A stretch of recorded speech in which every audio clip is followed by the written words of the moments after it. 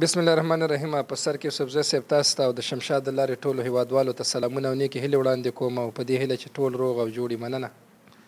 د راتلونکي پلانونو په حواله باندې د خپل ملي لوبډلې په حواله باندې که لږ تفصیل سره راته خبره وکړي. یوسفزی صاحب څنګه تاسو معلومات ده دا اوس موږ د آی کپ سیالۍ وګټله او جام مو ګټل دا یې کپ سې واقعا ډیر مهم دې افغانستان دې پاره ځکه سې دې تیرو دوه دوه نیمو کالو راهیسې دغه جام دې نړیوالې شورا دې کرکټ له خوا نه په لاره اچولې سوی وو هغه دې دې دې پاره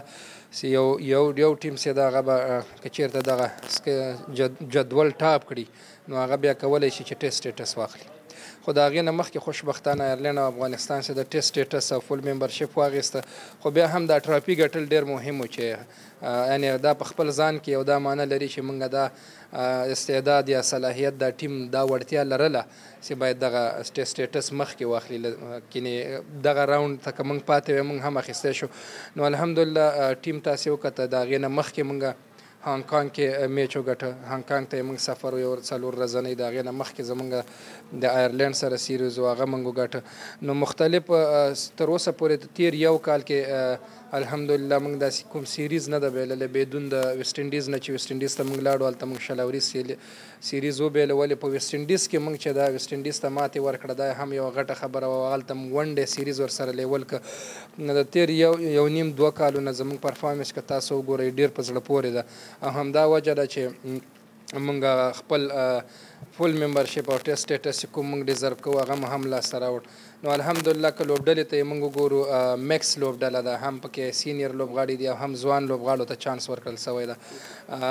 ښه مثال یې مجیب ځدراڼ ده چې دا اوس ایشیا کپ کې د پاکستان خلاف ډیره ښه لوبه وکړه فاینل کې په ټول ایشیا کپ کې شل لوبغاړي وسوځول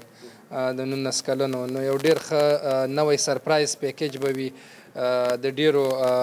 لوبغاړو ټیمونو لپاره ځکه چې هغه هم راشد خان ارمان که مثال واخلو هغه هم چې په شروع کې راغی نو همداسې یو بالر و چې چا نه و لیدلی نو مجیب سره به ان شاءالله هم که په دې هیله باندې چې هغه خپل همغسې بالینګ وکړي نو ډېر خلک به سرپرایز کړي، هغه ته هم لوبډله کې ځای ورکړل شوی ده، همداسې موږ نور ځوانان لرو لکه حمزه دی، نبي دی، راشد دی، نو سپن ډیپارټمنټ دې موږ خپله ماشاءالله ډېر قوي ده، کولای شو چې د آیرلنډ سره کومې سیالۍ چې دي سبا شروع کېږي. په دوه نیمې بجې د اماراتو په وخت که او دغه سیریز هم ډیر مهم ده د افغانستان لپاره که د دې سیریز اهمیت ته موږ راسو نو د فل ممبرشپ نه وروسته د آیرلینډ او د افغانستان لومړی سیریز ده چې یو بل سره مخامخ کیږي نو دا په خپل ځان کې د دواړو پل لپاره ډیر مهمه ده دواړه به کوشش کوي چې ځان هم خلکو ته وښیي او هم چې دا نورو نړیوالو ته چې یاره واقعا موږ یو فول ممبر یو د فول ممبر په صفت په لوبډلې په صفت په حیث باندې لوبه کوو نو دواړو لپاره ډیر مهم سیریز دی او لومړی ځل مخامخ کیږو زما ټولو هیواد افغانان میشتو او د کرکټ مینوالو نه چې څومره هم دلته دي په اماراتو کې د هغوی نه مې به مې دا خواهش وي چې مخکې هم دوی موږ ځان ته نه پرېښي راسي سبا دوه نیمې بجې دوه بجې مخکې دی لوبغالي ته راسي دوه نیمې بجې لوبه شروع کیږي او خپله لوبډله تشویقي ځکه چې دوی تشویق مونږ دپاره ډیره ضروري ده نو درې لوبې دي پنځم، اووم او لسم ډسمبر.